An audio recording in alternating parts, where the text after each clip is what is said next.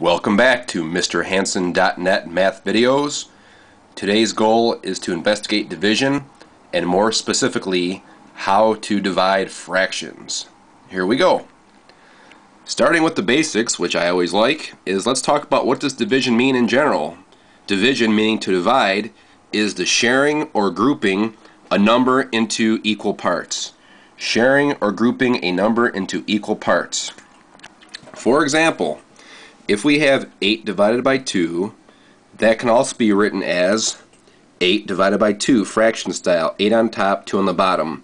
In other words, this means how many groups of 2 are contained in 8? How many groups of 2 are contained in 8? So what I've done here is I've uh, drawn out 8 objects, uh, the objects being 8 rectangles, and I'm going to take these 8 objects, 8 being the dividend and divide by groups of 2, 2 being the divisor, and the result we get is the answer called the quotient. The result of a division problem is called a quotient. So here we go.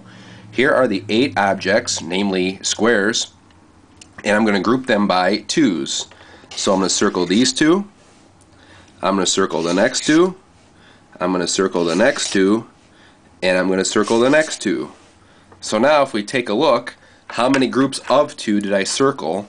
One, two, three, four. And that's precisely the reason why 8 divided by 2 equals 4. Alright? 8 divided by 2 equals 4. We all know that. I know it's kind of basic, but I just wanted to go back to the concept. It's how many usually smaller groups fit into another. 8 divided by 2 is 4. You can see it here very visually. Okay? Now, we saw obviously that 8 divided by 2 equals 4. This can also be written as the following. 8 over 1 divided by 2 over 1. Now, how did I do this? Well, I just wanted to express our uh, whole numbers, 8 and 2, as fractions. Anytime you divide or put a whole number over 1, it just means one whole group, or wholes. So we have, uh, pardon me for the camera not focusing, we have 8 wholes divided by 2 wholes. Well, it's the same thing we just did. I can divide straight across. 8 divided by 2 is 4. And on the denominators, 1 divided by 1 is 1. So now we have 4, and our pieces are 1 wholes, or wholes. So 4 divided by 1 is still 4. Note, it's the same thing we just got, but now we're using fraction style instead of whole numbers. You can always represent any whole number by putting it over 1. Alright? Hopefully most of us have seen that before. Moving along. I want to talk a little bit about the relationship between multiplying and dividing. They're opposite processes and I want to do um, another little example here. What we just did is we divided 8 by 2. Dividing by 2 takes half of a number, right? We had 8, we divided by 2, and we were ended up with 4. Dividing by 2 takes half of the number because you're splitting it effectively into two pieces. Now, if dividing by 2 takes half of a number, so does multiplying by 1 half. If you take half of 8, that leaves you with 4 also. So let's check this out. 8 over 1 times half. 8 times 1 is 8. And on the denominator, 1 times 2 is 2. And every fraction is division. 8 divided by 2 is 4. So notice, above we did 8 divided by 2 is 4. Notice that we represented 2 as 2 over 1. And down here we went from division, we switched to multiplication. And instead of dividing by 2, we started with 8. And we multiplied by 1 half. So basically the 2 over 1 got flipped to 1 over 2 and we switched from divide to multiply. And we get the same thing. So dividing by 2 is the same as multiplying by 1 half. They have the same uh, end result. Dividing by 2 takes half, multiplying by half takes half of the 8. Now, what does this have to do with anything? We're going to move on here. we're going to talk about this. Dividing fractions. How about half divided by a fourth? What does that mean, half divided by one fourth? Well, this means how many groups of one fourth fit into a half? Okay, how many groups of the one fourth fit into one half? How many fourths fit into one half? Well, let's draw a picture. Let me take the circle here and let me cut it in half. Okay, and let me highlight one half. Okay, I'm going to highlight one half of the whole. Okay, this represents one half. Now I want to figure out how many fourth size pieces fit in there. So I'm going to cut the entire circle into fourths. Okay, now the entire circle's in fourths. One, two, three, four. Now how many fourths are inside this one half pink shaded area? One, two.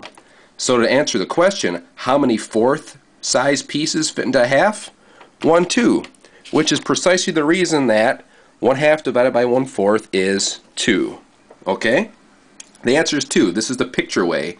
There are two pieces, two fourths, take up the same amount of area they fit into one half. Now, we can also try to do this by dividing straight across. Here's our 1 half divided by one fourth. 1 divided by 1 is 1. And 2 divided by 4 is 1 half. Now, that looks like a real screwy fraction because we have 1 as our numerator and half as our denominator. This actually works, but it looks weird. It looks much better if we use common denominators. So let's try this uh, division problem again using common denominators. We're going to try 1 half divided by 1 fourth. Now if we're doing halves and fourths, the common denominator is fourths. So how do you change 1 fourth? I mean, I'm sorry, how do you change 1 half into something involving fourths? Well, let's think about it. 2 times what gives us 4? That's a times 2, so we do it to the top. 1 times 2 is 2. 1 half is the same as 2 fourths. So now, if we focus on this, 2 divided by 1, 2 divided by 1 is 2, and 4 divided by 4 is 1, and 2 over 1 is the same as just 2. So there you have it. It's the same answer we got using the picture above, two pieces, our answer is 2. So you can divide fractions straight across if you use common denominators. Now, we can also do something else called multiplying by the reciprocal. Remember how a moment ago we found out that dividing by 2 is the same as multiplying by half? Well, we can do this with um, fractions as well. 1 half divided by 1 fourth is the same as 1 half times 4 over 1. So check out what happened divide became multiply, and one fourth got flipped, which the mathematical term is the reciprocal, to 4 over 1. Do you see that? Divide changed to multiply, and 1 over 4 got flipped to 4 over 1. It's called the reciprocal. Okay, so if we try this out, 1 half times the reciprocal now, which is 4 over 1. 1 times 4 is 4, and 2 times 1 is 2. And 4 over 2, which is a fraction, which is also division, 4 divided by 2 is 2. So you can kind of see now that uh, any way you slice it, you're going to get 2. So we have three strategies. You can draw a picture, you can use common denominators and divide straight across, or you can multiply by the reciprocal, which is probably the best bet for dividing fractions. Make it a multiplication problem. Change divide to multiply, and take, for example, the 1 fourth and flip it to 4 over 1, then you just multiply straight across. It becomes a multiplication problem. 1 times 4 is 4, 2 times 1 is 2, 4 over 2, or 4 divided by 2 is just 2. I'd like to do another example, but my time limit is running out as YouTube has a cap of 10 minutes. Thank you very much. I hope this review of dividing fractions helped out and works. Thanks a lot, and have a nice day.